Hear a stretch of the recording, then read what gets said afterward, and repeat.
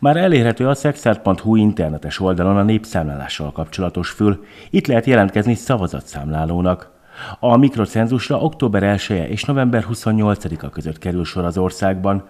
A leendő kérdezőbiztosok pedig július 29-ig jelentkezhetnek. A kérdőíveket online is ki lehet tölteni, így várhatóan csak azokhoz kell majd személyesen elmenni, akik ezt nem teszik meg.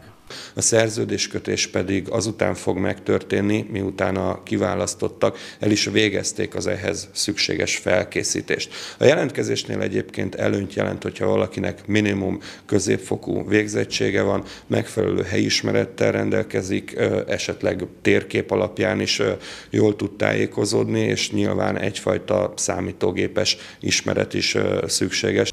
Számítások szerint egy-egy számláló biztos bruttó 240-280 80 ezer forintot keresett a nem egészen egy hónapos munkával.